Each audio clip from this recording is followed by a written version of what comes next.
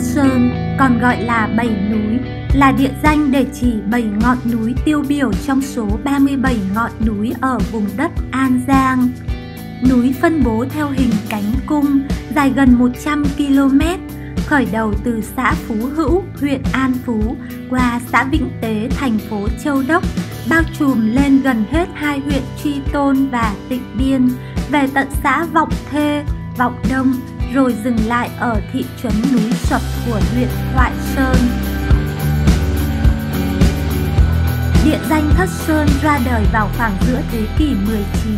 Giải thích nguồn gốc địa danh này, nhiều nhà nghiên cứu cho rằng thế núi Kiều, rồng trầu, hổ phục có thể gắn với sáu linh vật rồng, kỳ lân, rùa, phục, voi và hổ phủ phục quanh ngọn núi cao nhất ở trung tâm là Thiên Cấm Sơn.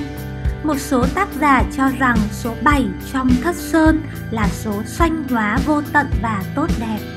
Trong Kinh Phật, Đức Phật Thích Ca cho biết thế giới cực lạc được làm bằng 7 thứ quý báu đó là vàng, bạc, lưu ly, pha lê, xà cừ, xích châu và mã não.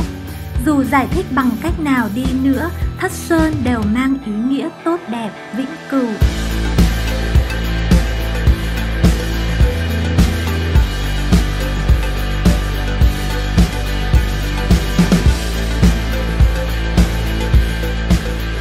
Về mặt địa lý, trong khi hầu hết Nam Bộ bị sụt lún để tạo thành một vịnh biển nông, thì Thất Sơn là một vùng núi sót hay là nền móng của Nam Bộ không bị sụt lún hết.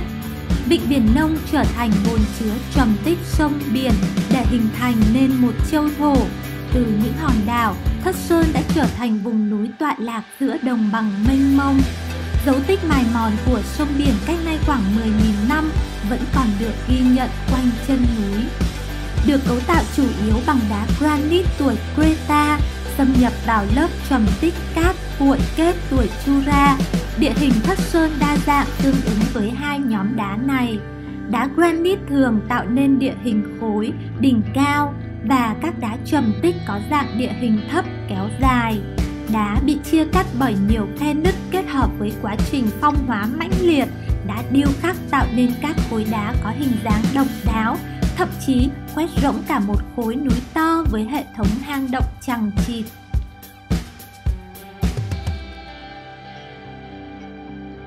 Thất Sơn bao gồm 7 ngọn núi. Núi Cấm còn gọi là Thiên Cấm Sơn là ngọn núi cao nhất trong dãy Thất Sơn với độ cao là 705 m. Núi Cấm có khung cảnh thơ mộng, không khí trong lành, thiên nhiên hùng vĩ. Ở giữa đỉnh núi là chùa Vạn Linh, nổi bật với tượng Phật Di Lặc cao 36 m và nặng 600 tấn. Núi dài, Ngọa Long Sơn là ngọn núi dài nhất trong dãy Thất Sơn với độ dài khoảng 8.000 m. Ngọa Long Sơn được biết đến là nơi có thiên nhiên vô cùng hoang dã, nhiều chim và thú rừng.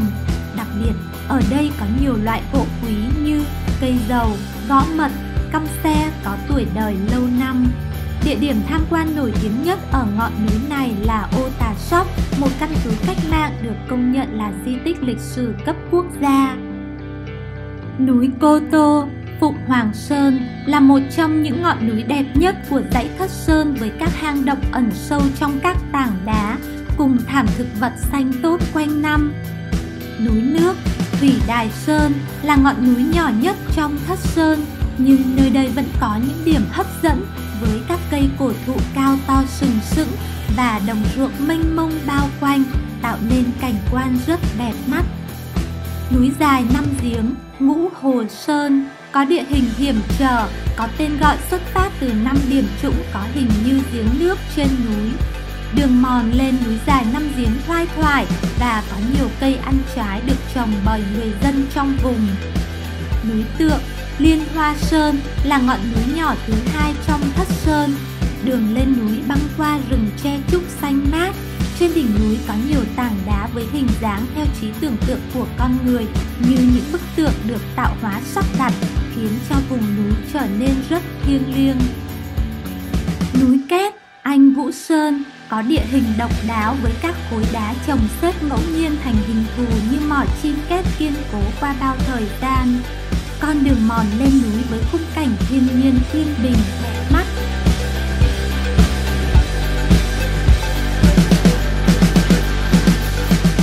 Xin mời quý vị tiếp tục đón xem những clip tiếp theo để cùng Exotic Việt Nam chinh phục Thất Sơn nhé!